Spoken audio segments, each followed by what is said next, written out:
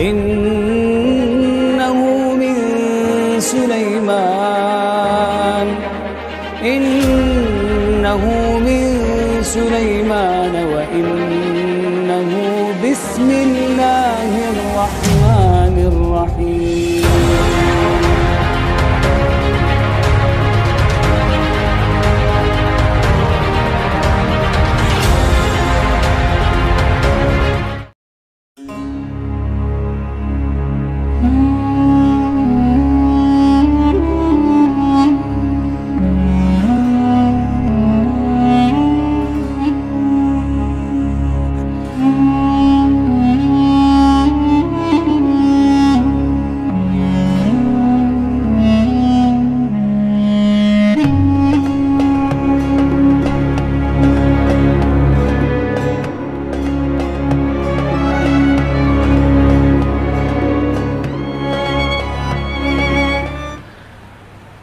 Hari ini kita akan membahas tentang satu tokoh besar yang merupakan tokoh madhab. Dan madhabnya adalah madhab yang mayoritas di negeri kita. Madhab syafi'i yang didirikan oleh al-imam asy-syafi'i rahimahullahu ta'ala Namun begitu banyak orang-orang yang menasabkan kepada madhab syafi'i terkadang tidak kenal siapa Imam Syafi'i. Harusnya orang-orang yang menasabkan diri kepada sebuah madhab itu minimalnya dia harus kenal siapa Imam Syafi'i. Memang dalam waktu yang singkat tidak mungkin kita bisa menceritakan tentang sosok Imam Syafi'i ini. Tapi minimalnya kita mengetahui secara global siapa sebenarnya sosok Imam Syafi'i rahimahullahu taala ini. Ma'asyiral muslimin yang dimuliakan Allah Subhanahu wa taala. Imam Syafi'i ini ada kemiripan dengan beberapa imam yang lainnya. Di antaranya bahwa dia ditarbiyah oleh ibunya. Karena Imam Syafi'i itu terlahir yatim. Sama dengan Imam Ahmad.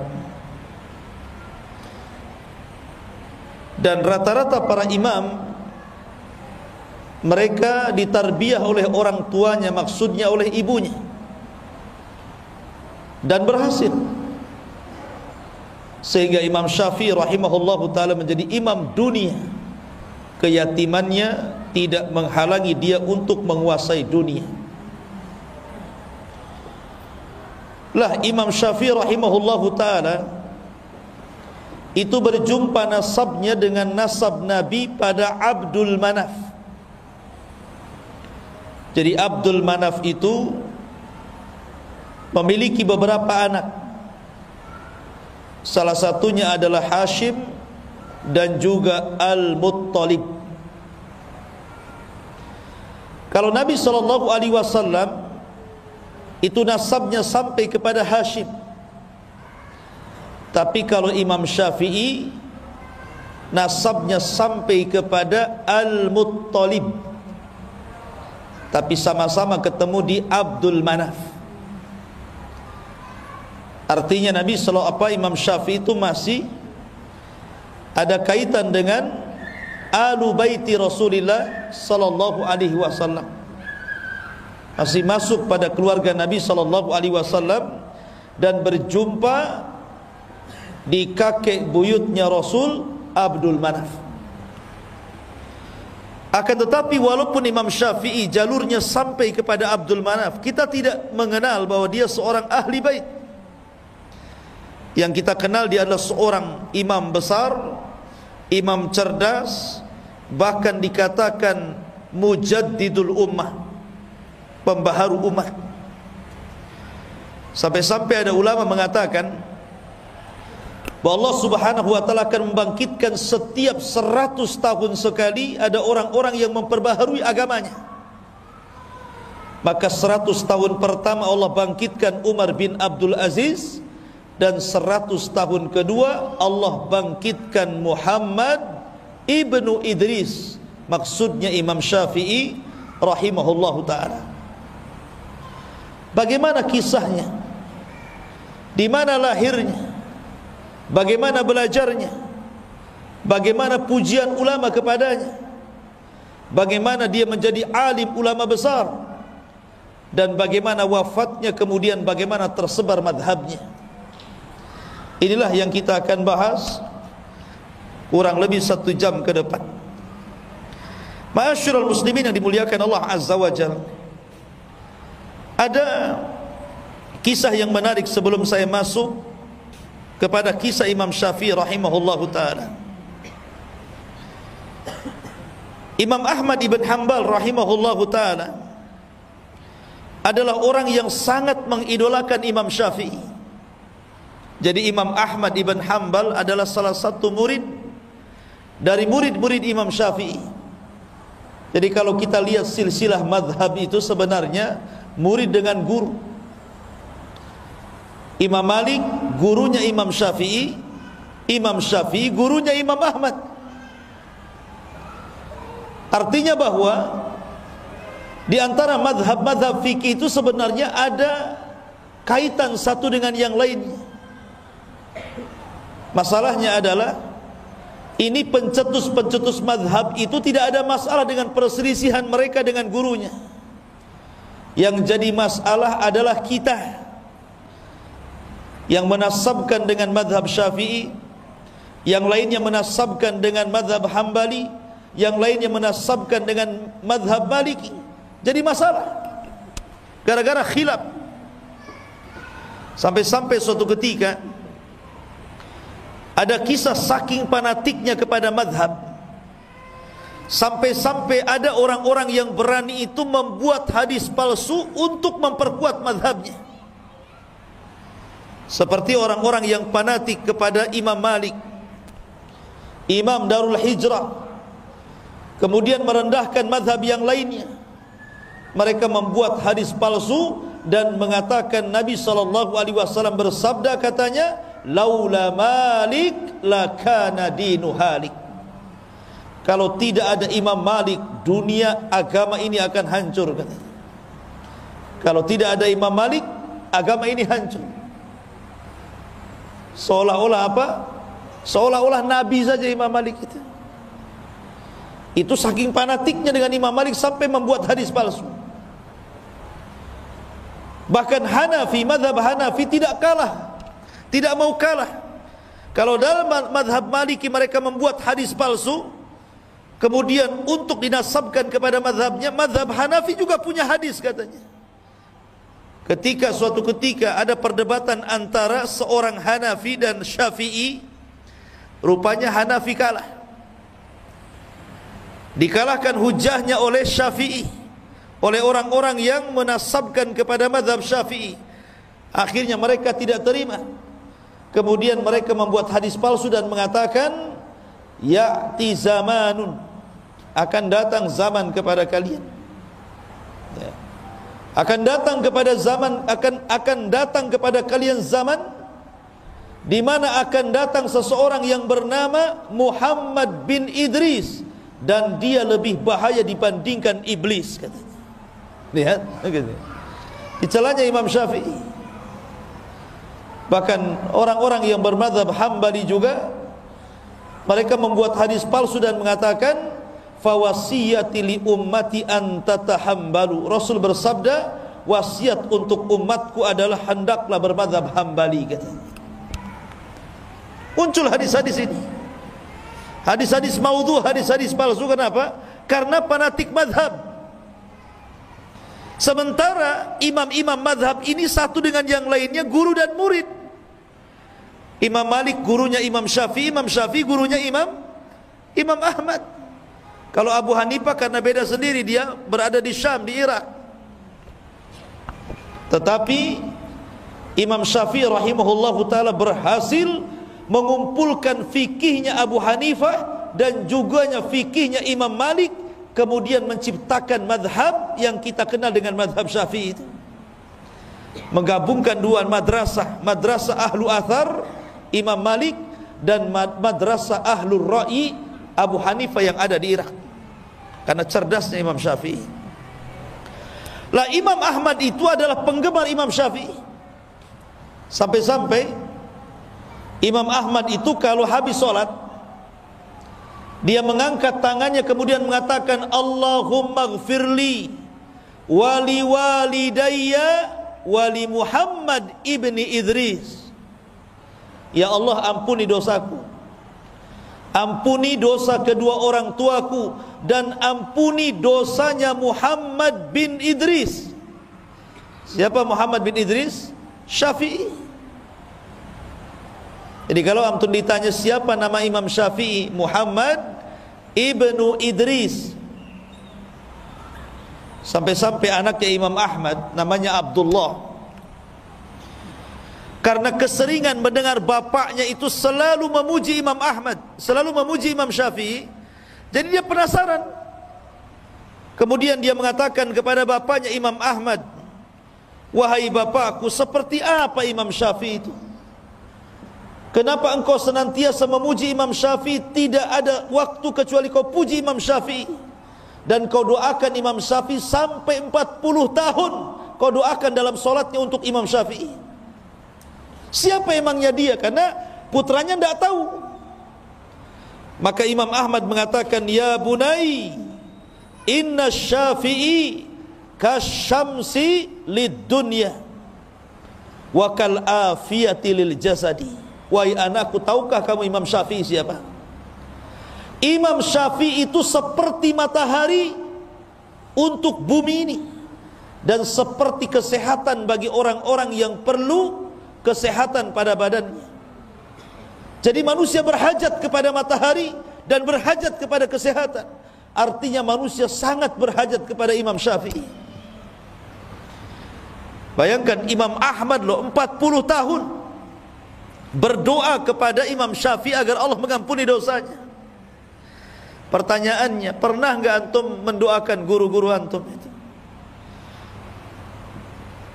Jangan-jangan antum sendiri tidak pernah didoakan, apalagi doain orang. Orang tua antum aja enggak pernah didoakan gitu. Harusnya kita doakan guru-guru kita dalam setiap solat kita, dalam setiap doa kita karena itu menunjukkan ketakwaan seseorang menghormati guru-gurunya karena bagaimanapun guru-guru itu sudah berjasa kepada anda ini minimalnya telah memberikan keterangan dan hidayah untuk menjelaskan mana yang baik dan mana yang buruk dan itu tidak bernilai harganya Masyurul muslimin yang dimuliakan Allah Azza wa Bahkan dikatakan oleh Ibnu Kathir rahimahullahu taala. Jadi Imam Syafi'i itu bukan hanya satu ulama, Imam Ahmad saja yang memujinya, tapi banyak para ulama memuji Imam Syafi'i. Sampai-sampai dikatakan oleh Abdurrahman ibn Mahdi Abdurrahman ibn Mahdi dia seorang ulama besar yang ada di Baghdad, Irak. Dialah yang meminta kepada Imam Syafi'i untuk menulis sebuah kitab namanya Kitab Usulul Fiqh. Dan itulah kitab pertama di dunia yang dikarang oleh Imam Syafi'i. Kalau ditanya siapa yang pertama kali mengarang kitab Usul Fikih, maka jawabannya adalah Muhammad bin Idris, Imam Syafi'i. Bayangkan makanya dikatakan mujaddid. Karena seseorang tidak akan paham fikih kalau dia tidak belajar usulnya. Makanya ulama mengatakan man harumal usul harumal wusul. Siapa yang diharamkan tidak paham dengan usul maka tidak akan sampai ke tujuan kata ulama. Karena orang bisa mengambil istimbat hukum dari Quran dan sunnah itu karena paham usul fikih dan tidak ada yang meletakkan usul fikih pertama kali kecuali Imam Syafi'i atas siapa? atas permintaan Abdurrahman ibnu Mahdi seorang alim ulama Baghdad jadi Abdurrahman ibn Mahdi ini mengirim surat ketika itu Imam Syafi'i berada di Mekah agar menuliskan untuk dia satu risalah berbentuk usul fikih. Maka ditulis oleh Imam Syafi'i itu. Bagaimana caranya pengambilan istimbat-istimbat hukum dari Quran dan Sunnah untuk masalah fikih. Kemudian setelah selesai kitabnya disebut Ar-Risalah kemudian dihantar ke Baghdad Ketika buku itu sampai di Baghdad, semua ulama-ulama Baghdad takjub dengan buku itu. Memuji Imam Syafi'i kenapa? Karena belum pernah ada ulama yang mengarang buku seperti itu. Mencerdaskan orang. Sehingga orang memudahkan untuk istimbat hukum dari Quran dan Sunnah dalam masalah fikih. Makanya dia dikatakan pembaharu umat karena dia yang pertama kali meletakkan ilmu usul fikih. Imam Syafi'i ini sehingga kita orang-orang setelahnya memudahkan untuk memahami tentang hukum-hukum dalam fikih dengan pahamnya usul fikih itu. Masyurul muslimin yang dimuliakan Allah Azza wa. Apa kata Imam Abdurrahman Al-Mahdi rahimahullahu taala? Dia mengatakan kata Abdurrahman ibn Mahdi demi Allah aku tidak pernah melihat orang yang paling berakal melebihi Imam Syafi'i. Dia manusia yang ajaib dan cerdas. Ma'asyiral muslimin yang dimuliakan Allah Azza wa Jalla dan banyak lagi pujian nanti kita akhirkan.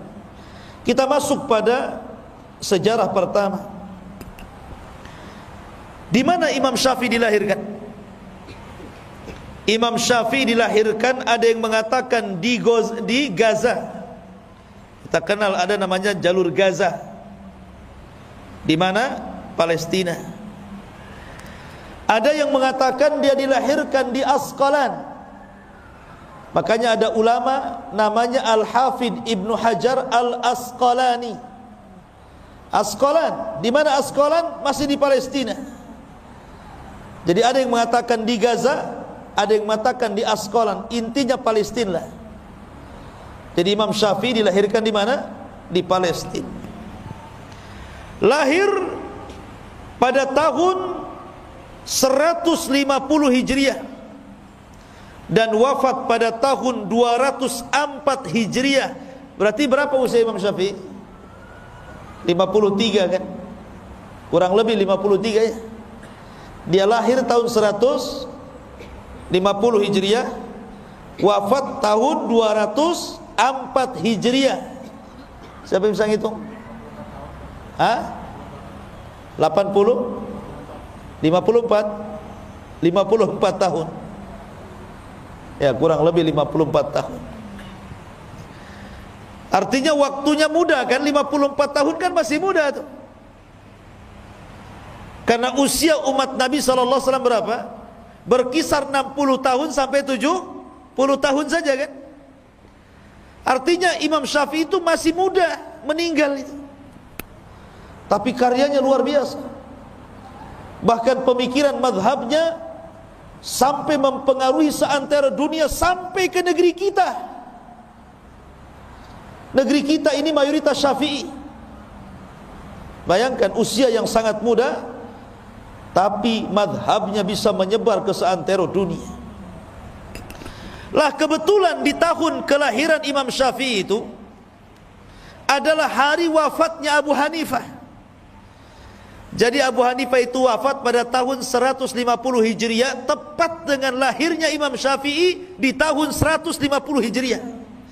Jadi Abu Hanifah wafat, lahir Imam Syafi'i.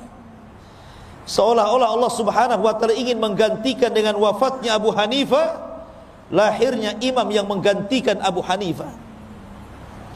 Imam Syafi'i Muhammad Ibn Idris rahimahullahu taala lah ketika usia Imam Syafi'i ini dua tahun meninggal ayahnya. Masih muda ayahnya sudah meninggal. Akhirnya kemudian ibundanya membawa Imam Syafi'i yang ketika itu usianya dua tahun dari Palestina dibawa ke Mekah. Kemudian ditarbiah oleh ibunya. Ketika Imam Syafi'i kemudian mulai membesar Usianya sudah lima tahun, enam tahun, tujuh tahun gitu ya. Maka Imam Syafi'i itu dihantar sama ibunya untuk belajar Al-Quran, belajar menulis, belajar tajwid dengan ulama yang ada di Masjidil Haram. Jadi di, di mungkin mungkin kalau istilah orang sekarang ngaji TPQ lah ya. Jadi di zaman itu ada TPQ juga. Masalahnya TPQ juga bayar kan sama gurunya.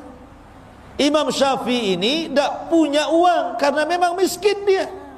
Dia tidak bisa bayar sehingga dia malu. Akhirnya dia pun mengatakan kepada ibunya saya ingin nggak akan belajar sampai ibu bayar dulu tuh SPP-nya itu bahasanya gitu. Tapi ibunya mengatakan gini saja wahai Syafi'i, aku berikan kau solusi. Biar kamu tetap belajar karena ibu tidak sanggup membiayai kamu.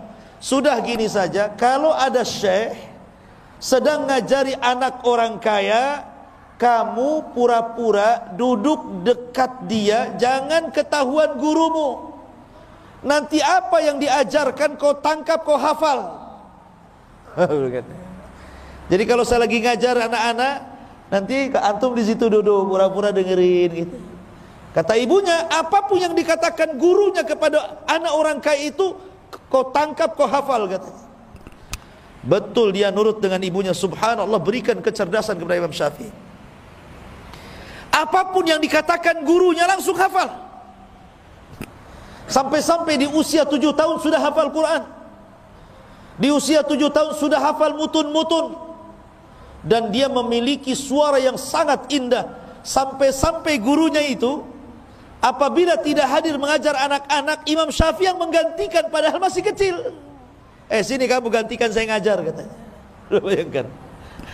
Karena cerdasnya Bahkan di usia 10 tahun Imam Syafi'i sudah mampu menghafal Kitabnya Imam Malik Al-Muwatta 30 ribu hadis di dalam Muwatta itu Imam Syafi'i ini hafal Bayangkan hafal usia berapa? 10 tahun. Anak-anak di zaman sekarang 10 tahun error lah otaknya main game. Ya kan? Ini 10 tahun 30 ribu hadis ada di otaknya. Dan dia menghafal muwatta itu ikhwan. Bukan bertahun-tahun. Ketika dia ingin belajar kepada Imam Malik dia kan miskin tidak bisa beli kitab muwatta itu.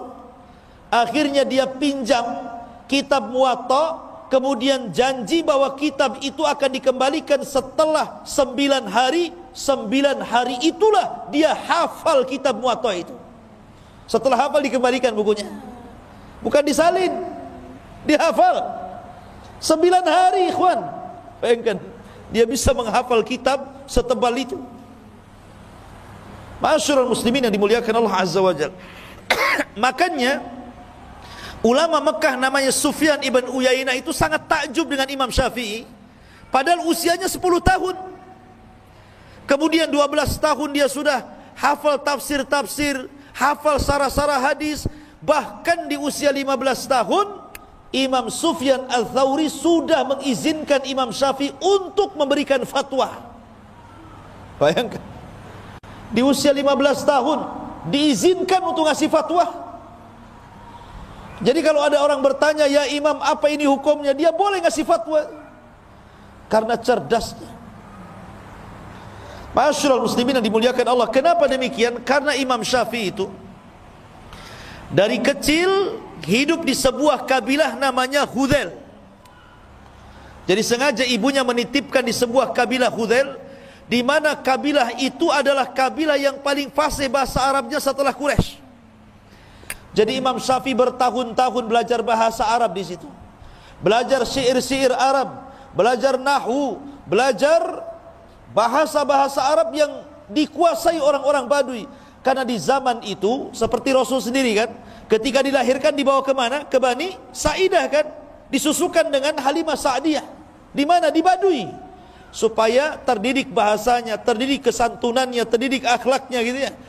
Maka Imam Syafi'i juga sama diletakkan di kabilah Hudel belajarlah bahasa Arab belajar syair Arab dan begitu seterusnya Jadi wajar kalau Imam Syafi'i itu orangnya paling cerdas dalam bahasa Arab. Bahkan tidak ada lahan sama sekali ketika bicara. Dan itu dipuji oleh Ibnu Hisham. Ibnu Hisham itu tokoh ulama pengarang kitab sirah. Ketika dia dari Mesir berjumpa dengan Imam Syafi'i, kemudian diskusi, dia sangat kaget dan mengatakan, "Demi Allah, aku tidak mengira Allah menciptakan orang kaya dia," katanya. Saking fasihnya bahasa Arab Imam Syafi'i itu. Masyurul muslimin yang dimuliakan Allah Azza wa Jal wajar. Karena Imam Syafi'i itu punya ibu yang sangat cerdas. Sedikit saya ceritakan ibunya nih. Jadi suatu ketika ibunya ini bermasalah. Akhirnya dia dipanggil ke pengadilan jadi saksi. Ketika itu hakim Meminta dua saksi perempuan. Yang satunya adalah ibunya Imam Syafi'i.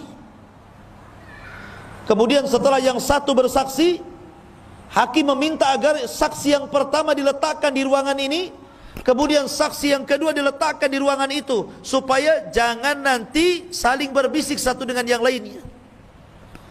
Kata ibunya Imam Syafi'i, apa yang kau lakukan wahai hakim ini salah bertentangan dengan Quran. Satukan kami sekamar dengan dia. Kami kan sama-sama saksi. Karena Allah berfirman dalam ayat dain dalam ayat hutang wa tudzakkira ihdahumal ukhra. Hendaklah yang satu mengingatkan yang lainnya. Jadi kalau aku lupa dia ingatkan aku, kalau dia lupa aku ingatkan dia. Kenapa dipisah katanya? Katanya Al-Hafidh Ibnu Hajar lihat Ibunya Imam Syafi'i saja cerdas Mengambil istimbat sebuah hukum Ya wajar anaknya cerdas Karena ibunya cerdas memang Imam Syafi'i itu Makanya nurun kecerdasannya kepada anak itu. Makanya antum yang muda-muda itu kalau cari istri yang cerdas. Jangan yang bego ya. Nanti anaknya bebel pula. ya. Ma'asyiral muslimin yang dimuliakan Allah Azza wa. Intinya bahwa Imam Syafi'i di usia tujuh tahun sudah hafal Quran. Kemudian setelah kemudian dia belajar bahasa Kemudian sudah diizinkan untuk memberi fatwa itu di Mekah oleh Sufyan ibn Uyainah. Di situlah Imam Syafi'i ingin belajar kepada Imam Malik di Madinah. Ingat, Imam Malik saat itu adalah ulama dunia. Ulama yang disegani oleh para penguasa. Karena di zaman Imam Syafi'i itu penguasanya siapa? Penguasanya Khalifah Harun Ar-Rasyid. Jadi Imam Syafi'i itu hidup di zaman Khalifah Harun Ar-Rasyid. Lah Imam Malik ini orang besar. Dia ulama besar sampai dikenal satu dunia lah Imam Syafi'i belum dikenal. Masih kecil. Dia ingin belajar kepada Imam Malik. Tapi dia sudah persiapkan, dia sudah hafal muatoknya dulu. Akhirnya dia pun menyurati pemimpin Madinah, gubernur Madinah agar memberikan apa namanya menjadi perantara dia bisa belajar kepada Imam Syafi'i, kepada Imam Malik. Tapi gubernurnya ketakutan. Tidak berani. Mana ada yang berani datang kepada Imam Malik apalagi Imam Malik tidak mau perantara-perantara. Tetapi singkat cerita, akhirnya gubernur itu pun mengantar Imam Syafi'i dan berjumpa dengan Imam Malik. Imam Syafi'i masih kecil ketika itu. Akhirnya ketika Imam Malik melihat kecerdasan Imam Syafi'i bagaimana dia sudah bisa menguasai kitabnya Muwatta. Dia sudah hafal Quran, dia sudah hafal tafsir dan dia memiliki bahasa yang luar biasa. Imam Malik pun takjub. Akhirnya kata Imam Malik, "Sudah, kamu belajar sama saya." Akhirnya kemudian Imam Syafi'i menjadi murid kekhususan Imam Malik 9 tahun belajar dengan Imam Malik. Disedotnya im, ima, apa, ilmu Imam Malik itu. Luar biasa. Sampai akhirnya masyarakat muslimin yang dimuliakan Allah Azza wa Jal setelah kemudian 9 tahun dia pun belajar kepada Imam Malik rahimahullahu taala dan mengambil seluruh ilmu Imam Malik maka dia meminta izin kepada Imam Malik untuk mengambil ilmunya Abu Hanifah. Di mana Abu Hanifah? di Irak sana. Tapi kan Abu Hanifah sudah meninggal. Maksudnya belajar kepada murid-muridnya. Ketika melihat semangat Imam Syafi'i, Imam Malik mendukung. Kalau engkau ingin belajar kepada murid-murid Abu Hanifah, maka saya danai kamu. Oh, antum cari guru yang kayak gini. Ya. Ustaz tolonglah ongkosi saya ke Yaman. Jadi didanai sama Imam, Imam Malik itu. Berangkatlah Imam Syafi'i. Kemana? Ke Irak, ke Baghdad sana. Dan di Baghdad dia banyak ketemu murid-murid Imam Ahmad. Salah satunya adalah dia berjumpa dengan Muhammad Hasan Ash-Shaybani. Kemudian Abu Yusuf Al-Qadhi. Dan itulah dua murid Abu Hanifah yang paling cerdas ketika itu. Jadi Imam Syafi'i kemudian berdialog. Kemudian menyerap ilmunya Abu Hanifah. Di sinilah Imam Syafi'i menggabungkan dua madrasah yang berbeda. Kalau Imam Malik murni madrasahnya ahli hadis. Tapi kalau Abu Hanifah madrasahnya ahlu ra'i. Ya, ahlu ra'i itu maksudnya apa? Banyak menggunakan akal. Ya. Menggunakan akal untuk memutuskan sebuah perkara. Maka Imam Syafi'i menggabungkan dua mazhab yang berbeda ini. Ketika itulah Imam Syafi'i di Baghdad menulis satu kitab namanya Al-Hujjah atau disebut dengan risalah awal. Yang disebut dengan Kaulul Qadim namanya. Ucapan Imam Syafi'i lama. Karena ketika Imam Syafi'i hijrah ke Mesir, kemudian wafat di Mesir, Imam Syafi'i menarik semua kata-kata dan fatwanya dalam kitab Al-Hujjah itu, kemudian ngarang buku lagi namanya Al-Um Makanya al-um itu disebut kaulun jadid, perkataan yang baru. Jadi Imam Syafi'i itu punya fatwa lama, punya fatwa baru. Dan tidak mengapa seseorang itu berubah-ubah pendapat. Pamannya dulu pendapat dia seperti ini, kemudian belajar belajar belajar belajar dapat ilmu baru. Oh, enggak benar yang dulu saya tinggalkan. Ah yang yang barulah yang lebih kuat menurut saya. Tidak ada masalah. Ya. Karena Imam Syafi'i 99% fatwanya dirubah. Bukan satu fatwa. 99% loh fatwanya dirubah. Jadi dari kaul qadim menjadi kaul jadid. Tetapi para ulama setelahnya ada yang kemudian memandang kaul qadim itu lebih kuat sehingga menguatkan kaul qadim, ada yang kemudian memandang kaul jadid lebih kuat akhirnya merojehkan kaul jadid terjadilah khilaf antar madhab syafi'i. Ya, gitu ya. jadi di tubuh imam, di tubuh madhab syafi'i itu banyak khilaf. Karena ada yang mengambil perkataan yang lama dari Imam Syafi'i dan ada yang mengambil perkataan baru Imam Syafi'i masalahnya. Tapi begitulah Imam Syafi'i. Orang yang paling cerdas luar biasa. Jadi ketika Imam Syafi'i kemudian ke Baghdad kemudian menyerap ilmunya orang-orang Baghdad dan mampu menguasai fikihnya Hanafi. Kemudian dia akhirnya pulang lagi ke ke Mekah ke Madinah. Ketika itulah kemudian dia ingin berangkat ke Yaman. Lihat para ulama ini. Mereka kalau belajar itu rihlah berjalan ke sana kemari. Tapi bukan jalan-jalan.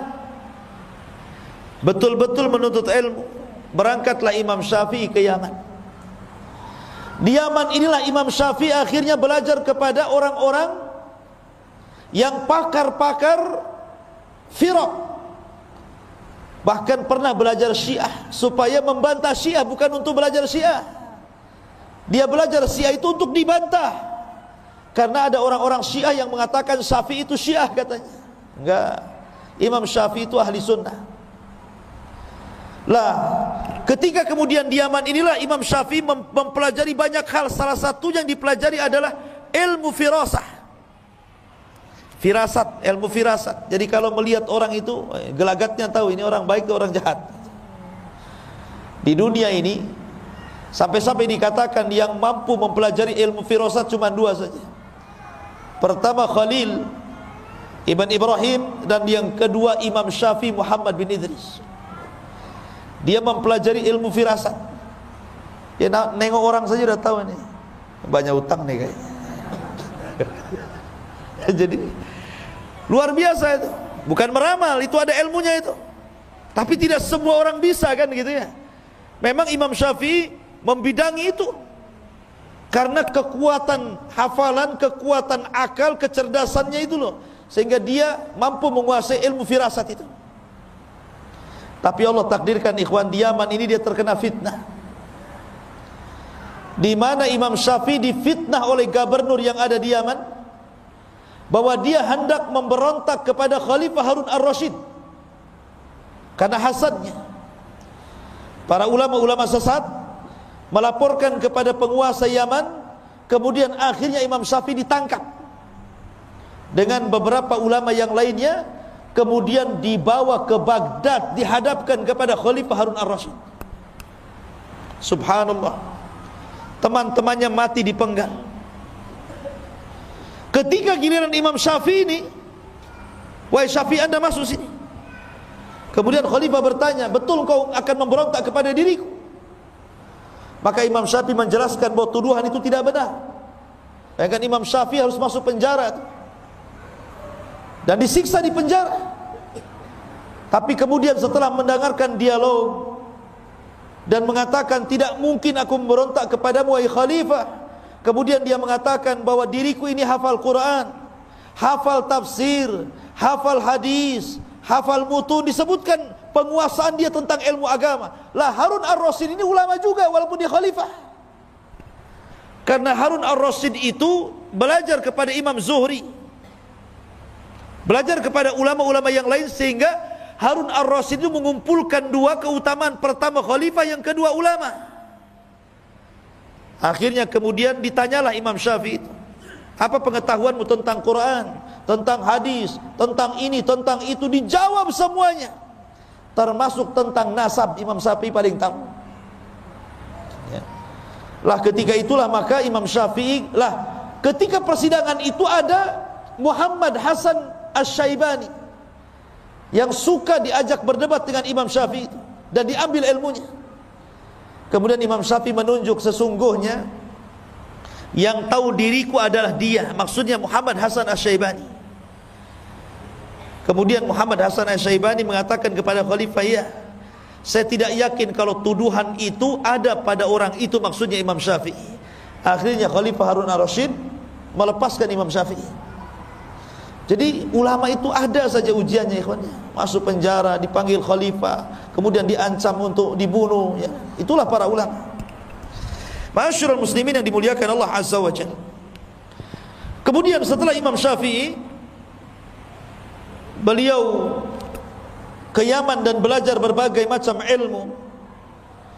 Maka kemudian Imam Syafi'i pun kembali ke Mekah dan sempat kemudian memberikan fatwa di sana. Tapi kemudian setelah itu Imam Syafi'i kemudian safar lagi ke Mesir dan itu ketika mendekati usia 50 tahun. Dia ke Mesir. Di Mesir inilah dia mengarang kitab Al-Um itu. Yang menarik perkataan lamanya dalam kitab Al-Hujjah ditarik semuanya kemudian mengarang satu kitab Al-Um dan hanya lima tahun di Mesir akhirnya Imam Syafi'i pun meninggal dunia di Mesir. Itulah sejarah singkat Imam Syafi'i. Baik kita akan membahas beberapa akhlak ketakwaan dan keajaiban Imam Syafi'i. Masyurul muslimin yang dimuliakan Allah subhanahu wa ta'ala. Imam Syafi'i ini dikenal ketakwaannya Suatu ketika berkumpullah Imam Syafi'i, kemudian Sufyan ibn Uyainah, kemudian para ulama yang lain di hadapan Khalifah Harun Ar-Rasyid. Ketika itu Harun Ar-Rasyid meminta agar salah satu ulama itu memberikan nasihat. Cobalah kalian memberikan nasihat. Ntar ya, kok makin kecil saja suaranya. Habis baterainya. Lah ketika itu kemudian Khalifah meminta Imam Syafi'i memberikan nasihat Tapi Imam Syafi'i tidak mau kenapa? Karena ada gurunya Sufyan ibn Uyainah Kata Sufyan ibn Uyainah yang lain saja. Begitulah ulama. Kalau disuruh itu melempar-lempar juga ya. Kamu saja, kamu saja. Sampai-sampai ada cerita, ini ada ustad-ustad di Jawa ini. Ditanya Pak Ustad ini hukumnya apa? Kata Ustad ini ikiai katanya. Tahu ikiai? Ini saja. Yang satunya katanya. Terakhir jawab oh itu kiai katanya. Itulah nama kiai itu diambil dari ikiai itu. Kan kita. Ma'asyiral muslimin enggak ini canda. Jadi akhirnya kemudian karena tidak ada yang apa namanya yang berbicara untuk memberikan nasihat. Akhirnya Harun Ar-Rasyid dia yang kemudian memberikan nasihat. Kemudian dia bacakan ayat-ayat kemudian dia bacakan hadis-hadis Nabi sallallahu alaihi wasallam dan perkataan para sahabat Rasul. Subhanallah Imam Syafi'i ini dikenal kalau dinasihati dia menangis kemudian pingsan. Jadi kalau dia mendapatkan nasihat yang menyentuh itu Langsung menangis kemudian pingsan Sampai-sampai ketika Harun Ar-Rasyid Kemudian memberikan nasihat Tahu-tahu Imam Syafi'i nangis kemudian pingsan Langsung berhenti dia. Dan orang-orang mengatakan apakah dia mati? katanya. Apakah dia mati? katanya kan. Rupanya dia hanya pingsan saja. Sampai seperti itu Orang mendengar nasihat nangis kemudian pingsan. Ini kalau tidak bersumber dari hati yang ikhlas tidak mungkin seperti itu. Kemudian kisah yang kedua, suatu ketika Imam Syafi'i ini sakit. Ada muridnya namanya Rabi ibn Sulaiman. Rabi ibn Sulaiman salah satu dari alim Baghdad berziarah kepada Imam Syafi'i gurunya ketika itu sedang sakit. Ketika sampai saja di rumah Imam Syafi'i, Imam Syafi'i lagi terbaring itu lemas. Akhirnya kemudian kata Rabi ibn Sulaiman dia pun mendoakan Imam Syafi'i dan mengatakan kau wallahu dha'faka ya imam. Kau wallahu dha'faka ya imam. Kalimat kau wallahu dha'faka ya imam itu memiliki dua makna. Makna yang pertama kawwa itu artinya semoga Allah menguatkan. Menguatkan kelemahanmu hai imam maknanya dihilangkan penyakitnya. Tapi makna yang kedua maksudnya menguatkan kelemahannya sehingga makin lemah lagi kan begitu ya. Kalimat itu kan ada dua makna ya. Semoga Allah menguatkan kelemahanmu.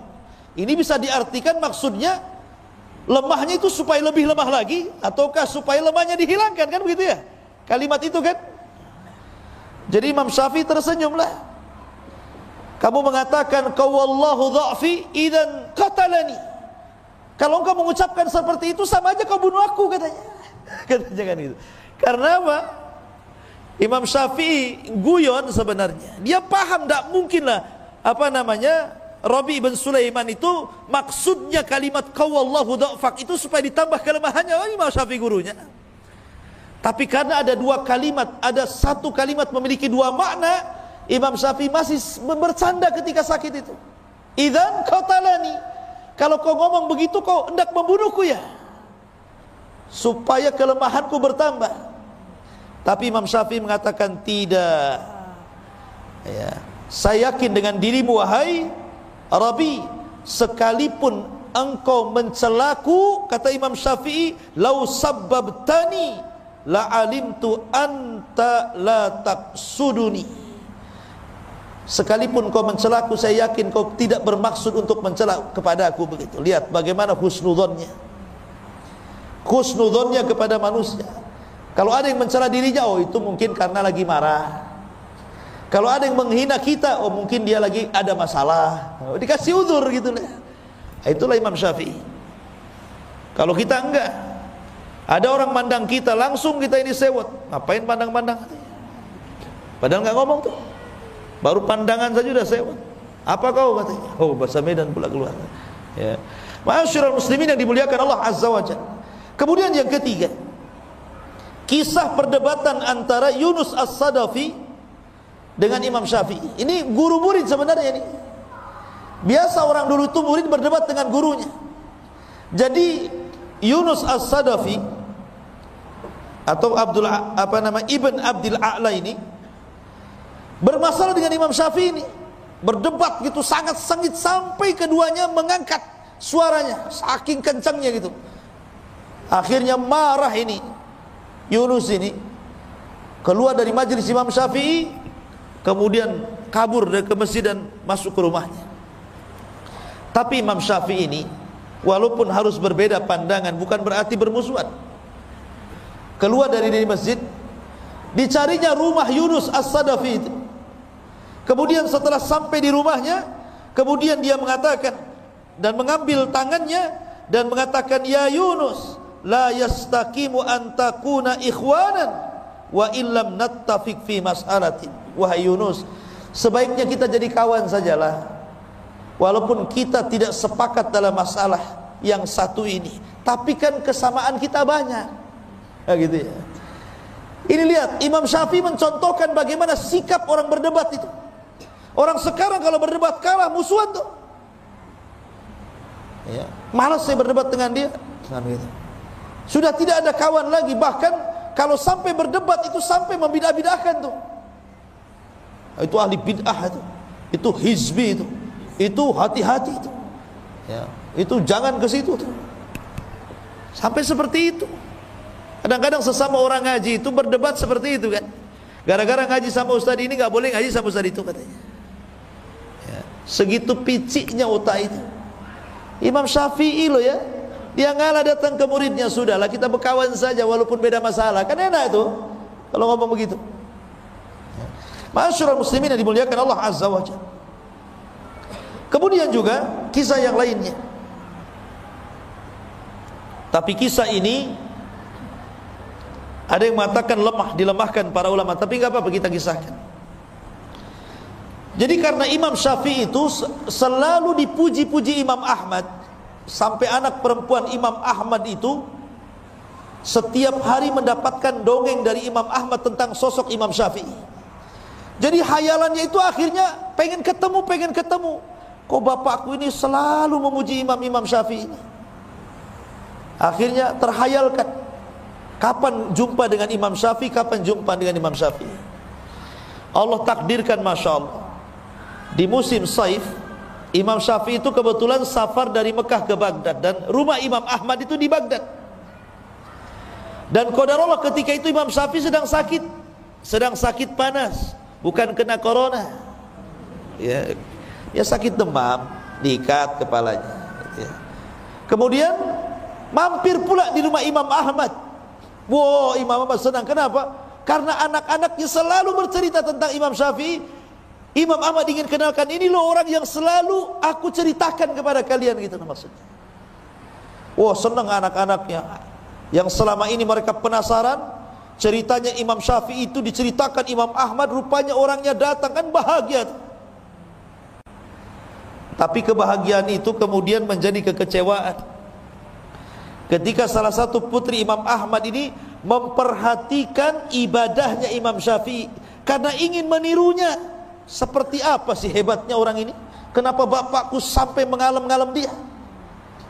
Mulailah malam hari. Awalnya datang Imam Syafi'i, tentu namanya tamu kan dijamu tuh. Kasih makan enak. Sekali makan habis makanannya. Satu meja. Jadi ditengokin saja sama anaknya. Wah, banyak makannya nih imam ini kan. gitu. Kemudian habis makan dia jilat-jilati tangannya. Kemudian dia perhatikan cara makannya. Kenapa dia cara makannya tidak pakai sunnah Nabi? Sunnah Nabi kan tiga jari. Ini main kerewek lima jari ini. Ya. Harusnya kan seorang imam itu pakai tiga jari, makan sedikit. Ini habis satu meja. Mulai dia bertanya-tanya ini. Ini syafi'i ke bukan syafi'i? Katanya. Akhirnya malam harinya ditengok lagi. Tidak ada pun sholat malam dia. Tak tahajud, tak witir, tidur aja gulang, guling, gulang, guling. Gitu. Sampai subuh. Ya. Kata anaknya macam mana? Betul tak Imam Syafi'i? Kalau imam kan harus sholat malam, tahajud gitu ya. Anehnya lagi yang ketiga, ketika Imam Ahmad bangun di waktu subuh, ngajak Imam Syafi'i sholat subuh, sholat subuh tidak wudhu lagi bayangkan. Makin stres anaknya ini. Ini jangan-jangan Imam Syafi'i KW ini. ya. Ma'asyiral muslimin yang dimuliakan Allah Azza wa Jal. Penasaranlah anaknya ini. Kemudian manggil bapaknya Imam Ahmad. Wahai Abi, betul tak Imam Syafi'i itu? Kata Imam Ahmad, iya dia itu Imam Syafi'i. Dialah orang yang suka aku puji-puji, aku doakan 40 tahun. Dialah orang. Kata anak putrinya begini, wahai bapakku, saya punya tiga soalan. Pertama saya perhatikan cara makan dia, sudah tidak pakai sunnah, habis pula satu meja. Kemudian yang kedua, kok enggak pernah sholat malam? Aku perhatikan dia enggak witir, enggak enggak tahajud, enggak ada apa-apa, tidur aja kerjanya. Kemudian ketika saya perhatikan dia pulang dari rumah, itu air yang kau sediakan wahai bapakku untuk berwudu disetuh pun tidak. Langsung ke masjid dia. Sebenarnya ada apa ini? Akhirnya Imam Ahmad juga penasaran, ingin tanya juga sama Imam Syafi'i pertanyaan tiga anak, pertanyaan tiga perkara dari anak ini. Mulailah kemudian Imam Syafi'i ditanya tentang tiga soalan dari anak itu. Imam Syafi'i ini orang cerdas ya Dia ada jawabannya. Kalau antum di posisi Imam Syafi'i malu, memang antum seperti itu. gitu ya. Tapi Imam Syafi'i mengatakan, "Ya Ahmad, haddatsana Rasulullah sallallahu alaihi wa haddatsana fulan qala haddatsana fulan qala qala Rasulullah sallallahu alaihi wasallam." Kemudian dia membacakan, adapun kenapa saya makan saya habiskan semuanya itu. Karena Rasulullah bersabda, ta'amul qurama dawa wa ta'amul bukhala daun katanya. Karena makanan orang yang ikhlas itu Makanan orang yang dermawan itu pasti jadi obat Makanya mumpung ini obat ku makan semua Kan aku lagi sakit kemarin itu. Lagi demam. Tapi bukan kena corona sekali lagi. ya. Setelah saya makan habis makananmu, alhamdulillah hilang demam saya katanya. Hilang demam saya. Ta'amul qura madawa bahwa makanan yang diberikan orang yang dermawan, orang ikhlas pasti jadi obat tapi makanan yang diberikan orang bakhil hati-hati jadi penyakit hati-hati jadi penyakit makanya kalau antum punya kawan bakhil ditraktir jangan mau. Pulang mencret. Iya. Oh kalau kawannya ini dermawan maulah saya. Jadi kalau antum sakit di rumah stres nah, telepon saja kawan yang dermawan itu. Kapan traktir saya? Tidak usah ke apotek cari obat. Cari kawan saja yang dermawan. Kemudian yang kedua, kenapa aku tidak tidur kata? Aku tidak tidur kata Imam Syafi'i. Memang aku tidak solat malam, aku tidak tahajud, aku tidak witir. Tetapi sepanjang malam ini aku teringat hadis Nabi. Kemudian aku usahakan hadis itu dalam satu malam aku keluarkan faedah-faedahnya dan aku berhasil mengumpulkan seratus faedah dari hadis itu. Kemudian Imam Ahmad penasaran hadis apa itu? Kemudian Imam Syafi'i mengatakan hadis tentang burung nugair. Jadi Anas bin Malik itu punya adik kecil belum balik namanya Abu Umar. Bayangkan anak belum balik tapi sudah disebut Abu loh ya. Abu Umar. Gak apa-apa Seseorang itu walaupun belum menikah dipanggil abu itu kunyah sunnah hukumnya. Ya, mau Ustaz, kenapa? Takut dicap radikal. Karena orang radikal itu depannya abu-abu. ini Abu Umar itu kecil anak kecil Abu Umar ini. Punya burung namanya Nuger. Dari sini boleh seseorang itu punya peliharaan dikasih nama. Boleh punya kucing dikasih nama siapa? Ya, kasih nama siapa? Kucing. Jangan kasih nama istri antum. Jadi boleh kita memberikan nama kepada peliharaan sebagaimana di zaman itu ada burung di, di, dikasih nama Nughair sama si Abu Umar ini. Namanya anak burung berakal, belum balik, kan tidak pandai merawat burung ya. Lain dengan kayak antum, mungkin ada sangkarnya di dimandikan, orangnya belum mandi, burungnya sudah mandi. Orangnya belum makan, burungnya sudah makan. Ya. Karena anak kecil yang melihara burung mungkin tak keinjak, tak kecekik, matilah burung ini. Nangis Abu Umar ini namanya anak-anak.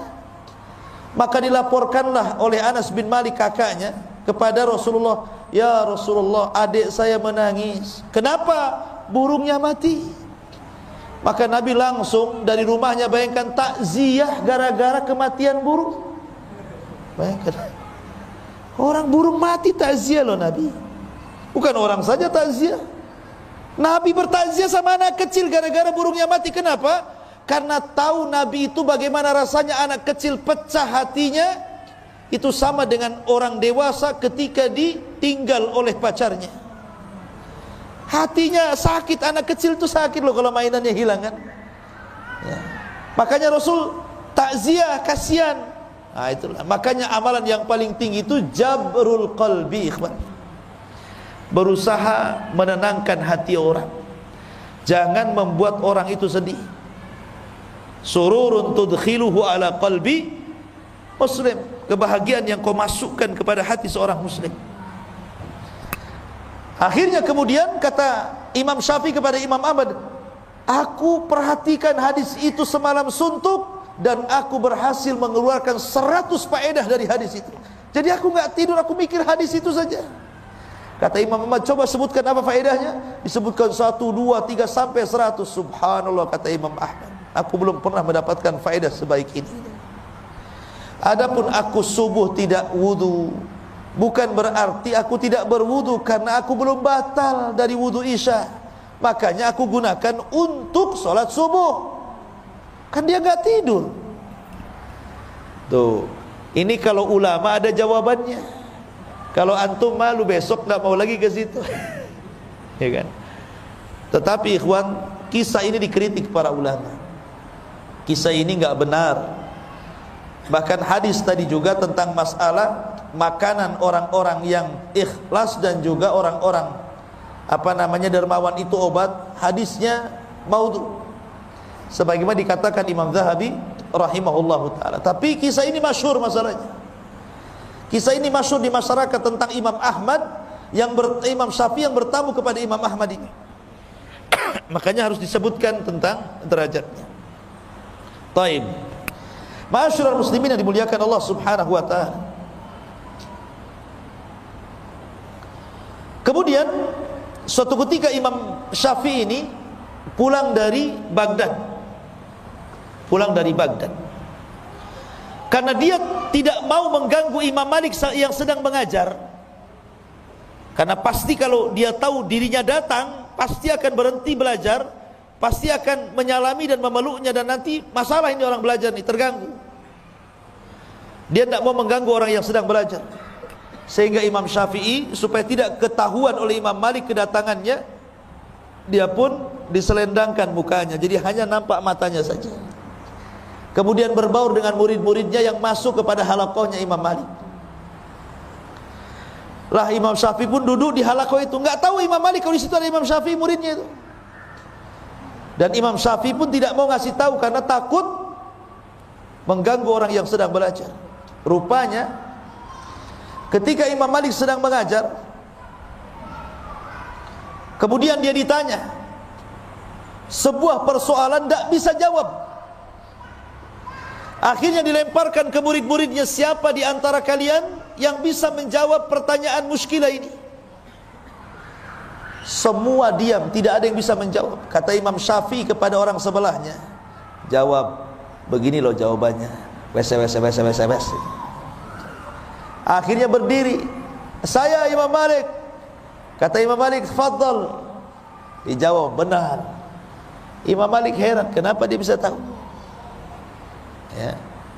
Berdiri. Ya. Bagaimana kau bisa tahu? Kata orang ini, nih sebelah kan. ini sebelah yang ngasih tahu kan ya. Imam Syafi'i subhanallah dia berusaha untuk tidak jangan sampai tahu akhirnya dibuka juga tahu juga Imam Malik dan Imam Syafi'i subhanallah ikhwan begitulah para ulama ya kadang ada waktu-waktu seperti ini kondisinya Masyurul muslimin yang dimuliakan Allah subhanahu wa ta'ala. Kemudian juga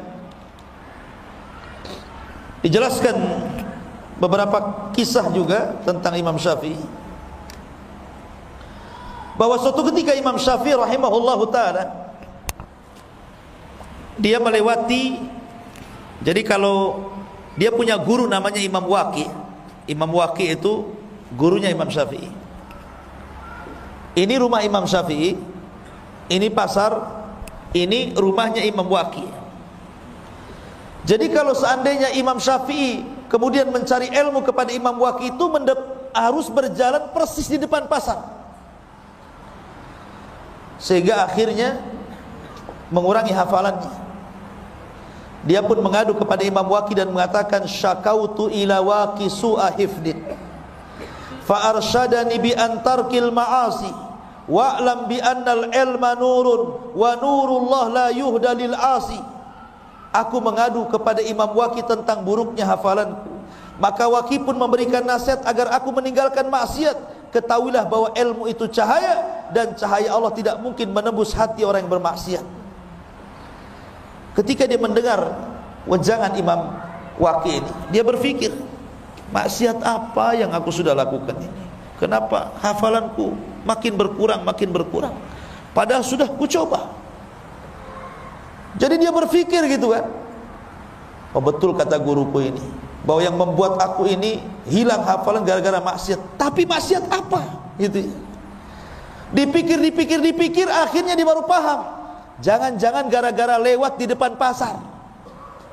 Bayangkan Imam Syafi'i lewat di depan pasar merutul hafalannya. Padahal nggak ngapa-ngapain lewat depan pasar aja. Akhirnya keesokan harinya ketika dia sudah tahu sebabnya dia ganti rutenya. Jadi enggak mau lagi lewat depan pasar, lewat belakang pasar dia.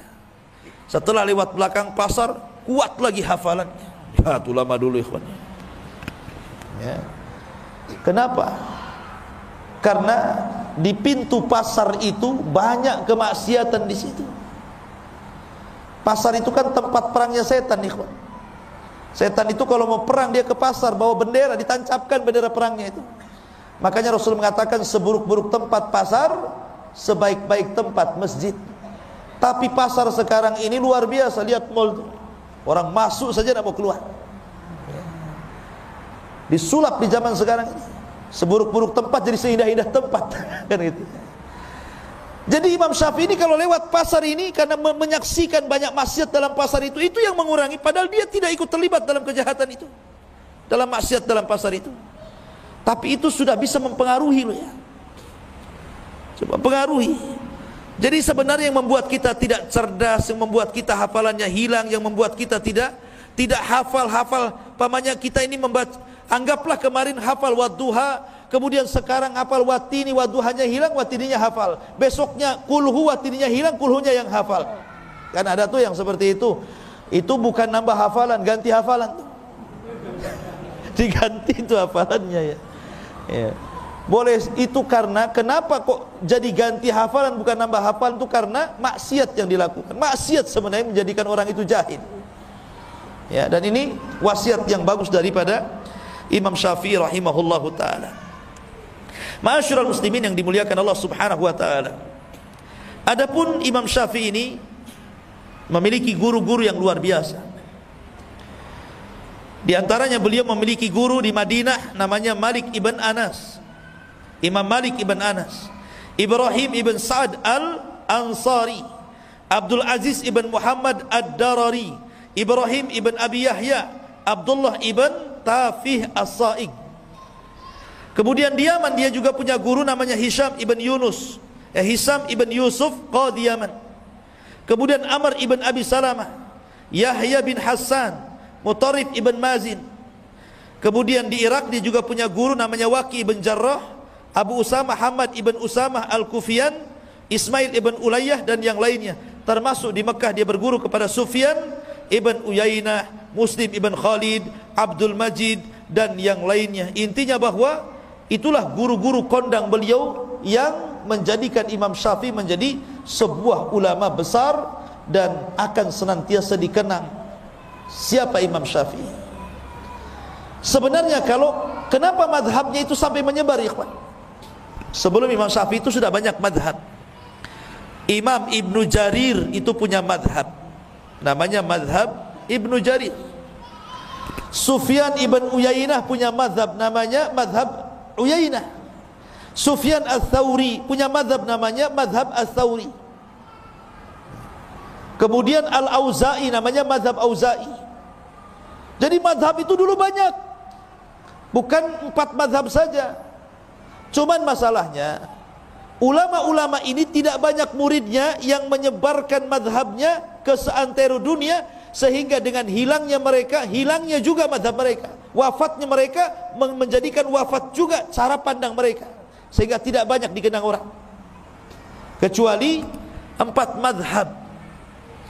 Ya Maliki Hanafi kemudian Hambali dan Syafi'i. Ini murid-muridnya banyak.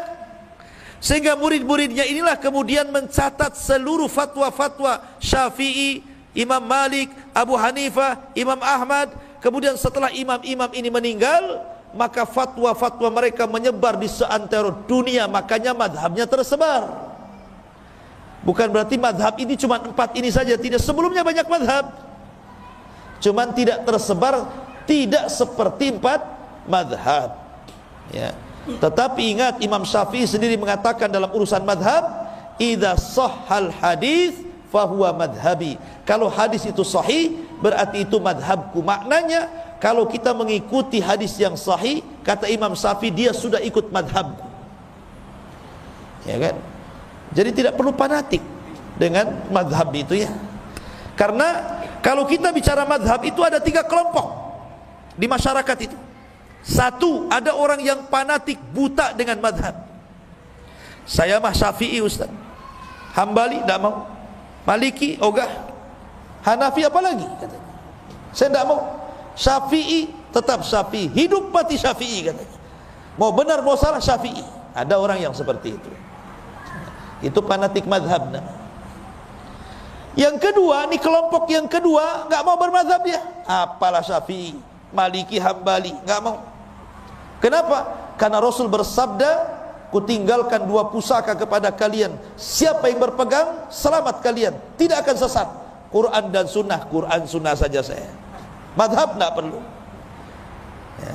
Ada kan orang seperti itu? Quran sunnah sajalah saya. Karena Rasulullah yang menyebutkan Quran sunnah, tidak disuruh ikut Syafi'i, Maliki, Hanafi, Hambali. Ada orang yang tidak perlu madhab, madhab. Ah, tidak perlu saya madhab, madhab. Kelompok yang ketiga ini tengah-tengah. Dia tidak ber, tidak melepaskan madhab dan tidak juga fanatik madhab. Mana-mana yang benar dari madhab itu pamannya kebenaran ada dalam syafi'i, saya syafi'i. Kebenaran dalam hambali, saya hambali. Kebenaran ada pada maliki, saya maliki. Kebenaran pada Abu Hanifah, saya hanafi. Mana-mana yang benar itulah yang dipilih. Dan harusnya ambil yang terakhir ini pendapat kita. Supaya tidak fanatik madhab. Ya, karena masing-masing ulama itu kan punya keistimewaan ya. Sekarang kalau seandainya orang yang tidak mau bermadhab ini, Quran Sunnah saja, saya katakan, gimana kau caranya mem mem memahami Quran dan Sunnah kalau tanpa ulama? Hah? Justru dengan adanya madhab itu kita tertolong, jadi kita paham maksud Quran, maksud hadis. Ini loh ulama yang paling paham karena ulama itu warasatul ambiyah. Tetap kita butuh ulama untuk memahami itu karena kita bukan siapa-siapa. Tapi kita juga jangan sampai fanatik. Karena mereka bukan nabi. Ulama itu tidak maksum. Yang maksum itu nabi. Makanya ambil yang benar, campakkan yang salah. Itulah seruan dan slogan mereka semuanya. Seperti Imam Syafi'i mengatakan, apabila kau dapat di dalam bukuku menyelisih Al-Quran dan Sunnah, tinggalkan. Tetapi yang sesuai dengan Quran dan Sunnah ambil. Itu kata-kata Imam Syafi'i itu. Ya. Maka kita ambil yang sesuai dengan Al-Quran dan Sunnah dan kita tinggalkan yang tidak sesuai selesai. Ya kan? Jadi tidak perlu lagi kita sibuk. Anda bermadhab, bermadhab, tapi semua madhab gitu. Ya. Ustaz saya mau syafi'i saja, nggak apa-apa. Antum syafi'i saja, nggak dilarang. Tapi kalau yang jelek, artinya jangan mengikuti semuanya. Karena tidak semua perkataan syafi'i kan benar kan namanya manusia pasti salah kan begitu. Yang benar saja nggak apa-apa ambil, yang salah jangan. Ya, karena banyak para ulama pun mereka bermadhab syafi'i. Imam Nawawi Asy-Syafi'i, Ibnu Hajar Asy-Syafi'i kan begitu. Enggak apa-apa. Syafi'i enggak apa-apa Syafi'i. Tapi Syafi'i yang lurus. Jangan di sini Syafi'i, di sana tak Syafi'i pula. Ya kan? Ada yang seperti itu ada. Ya. Contohnya gimana? Dalam mazhab Syafi'i kalau cerita sadar itu itu wajib Imam Syafi'i kalau bicara sadar itu wajib. Justru madhab yang lain tidak mengatakan wajib. Ya kan? Tapi ketika ada orang yang kemudian bersadar dibilang apa? Itu niru adat Saudi. Saudi itu hambali, ikhwan. Bukan Syafi'i. Kan gitu ya? Itu karena tidak paham madhab kan? Harusnya kalau dia paham madhab jangan ngomong begitu. Justru madhab Syafi'i itu wajib pakai cadar itu. Dan madhab yang lain tidak. Kenapa anda kemudian ngaku madhab syafi'i tapi urusan ini anda katakan dari Saudi katanya? Berarti tak paham madhab ya. itulah pentingnya seseorang itu mempelajari fikih sesuai dengan madhab supaya tidak fanatik. Wallahu a'lam bishawab ikhwatu ini yang bisa sampaikan mudah-mudahan ada manfaatnya. Subhanakallah bihamdika asyhadu an la ilaha illa anta astaghfiruka wa atubu Allahu ta'ala assalamualaikum warahmatullahi wabarakatuh